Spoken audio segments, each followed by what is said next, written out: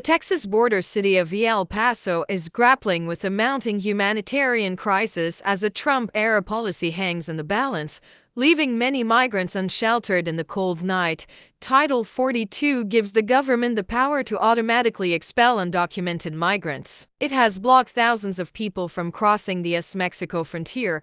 The policy was due to expire on 21 December but has won a temporary reprieve from the Supreme Court. On Monday, Chief Justice John Roberts temporarily blocked its termination pending a ruling on an emergency appeal from some Republican led states who have asked for the policy to remain in place. The Biden administration on Tuesday asked the Supreme Court to ignore the Republican led request to keep Title 42 in place, arguing that it can no longer be justified but it also asked the court to delay the ending until at least December 27th to prepare for an influx of migrants. If the administration gets what it wants, the policy will expire on 27 December.